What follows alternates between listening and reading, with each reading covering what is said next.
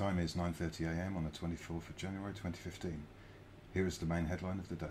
H1Z1 proves to be a pay-to-win, underdeveloped, overpriced, money-grubbing pile of dreck. More on that story later after these horrific scenes. Some viewers may find these images disturbing, but not in a good zombie apocalyptic way. Good morning to you. This is Titus Groan reporting from the zombie apocalypse. As you can see, not a huge amount is happening. Um, there seems to be a tear in the sky. Um, I don't know if that's uh, an omen of some kind. Uh, my hammer doesn't work. Well, that's a... So there's massive input lag. And I'm bleeding to death. But fortunately... Um, uh, where have my bandages gone? I have no bandages. They've disappeared out of my inventory. Oh, that's marvellous, isn't it? Isn't that just wonderful? So I'm basically going to die. I'm sorry for this. Um, but we were all expecting so much more. Yep, they've definitely gone. I had at least two bandages left. I'm not going to call it an airdrop because frankly it's completely pointless. I'm going to eat some blackberries because that's what you do on H1Z1. You eat blackberries, you pick sticks and you pick more blackberries. So um, there's been a, a lot of anger towards this game. I think understandably expectations there's some blackberries over there um, expectations were huge um, people watched um, the developers live streams and their YouTube videos and everything looked all wonderful but they weren't playing the same game as we're playing. They were playing on a test server. Um, and then the game came out and no one could play it uh, because you couldn't create an account um, and then when you could um, you got a G99 error. They sorted that out. Have to say good for them. And uh, then you couldn't get onto a server. In fact no servers came up. Then servers came up but you couldn't actually join them. Um, I can't risk it. You always get hit by zombies. It's, it's ridiculous Loot basically spawns at the beginning of the service cycle, and if you don't get it, you're screwed. Because, and I've got a theory about this, um, it's for this reason. No, sorry, let me, uh,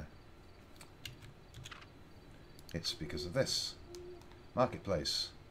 Buy keys, buy tickets, buy bundles get cash, station cash, so you can buy more key.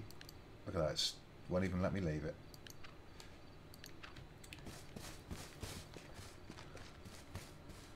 They don't want you to just play this game and enjoy it.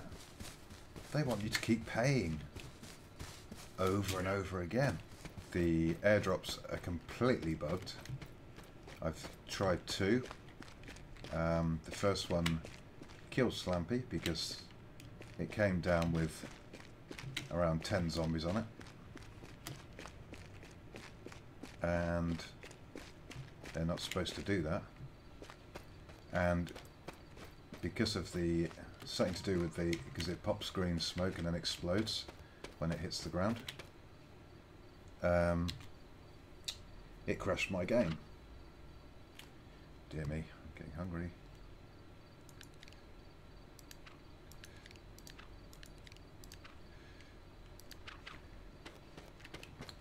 So my game crashed. Slampy was dead. Um, there's massive input lag when you're trying to search something. It takes ages for it to come up. Um, so yeah, we never got anything off that. When I got back in, it was nowhere to be seen. What else? Then uh, yesterday I was playing it. Um, unfortunately, I deleted the video. I wish I'd kept it. Um, I was playing on a P this, this same server actually. It's PVE. so there's no player killing allowed. Doesn't stop people do trying it though. Um, so I caught an airdrop. It doesn't land where you are, and the the plane actually comes in from like a kilometre away, and you hear it the whole time. So by the time it actually drops the, the parachute with your care package on, everyone on the server knows where it is, and they're all there waiting.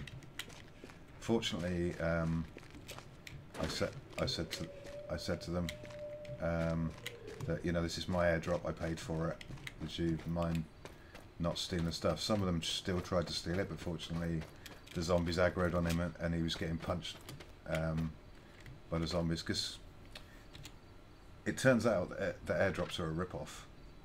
Okay, it says. Look, let me show you. Airdrop.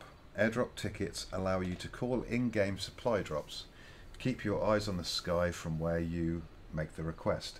It's on you to make sure you get there before your fellow survivors, and you might have to fight for it, but not on a PvE server, obviously. Airdrop contents are selected at random, but will but will contain a combination of items such as weapons, ammunition, and various survival supplies. Lately, we've had trouble with zombies. Yeah, blah blah. Right, this is what I got from it. I got a weapon repair kit, and I got a lot of metal. That was it. So, if you're actually paying for those, it's going to cost you about five pounds for each of them. Hey, man. No. Hey, I'm, I'm just reporting for the daily news. Um, I'm curious about what you think of the game. Yeah, it's alright so far. So you don't think it's a pay-to-win rip-off, um, underdeveloped, overpriced? No, it's underdeveloped, that's for sure. Not really pay to win though. Uh, the fact that you can pay for stuff to like weapons and things. Yeah, oh, that's stupid, I reckon. They should just get rid of that instantly. Okay, mate. Well, thanks for your help and good day.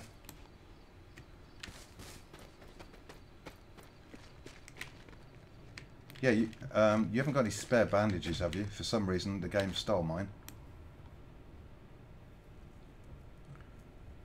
It's a different guy. Have you not got a mic? You just press the middle mouse button if you want to speak. Oh, thank you so much. Very generous. Thank you. It looks like toilet paper. it looks like toilet paper. Thanks, mate. Oh, hello. Animal trap. Oh, right, okay. Can't carry it in there, can't carry it in there. I can carry it in my, t my blue and orange t-shirt. Okay, that's quite good. Well,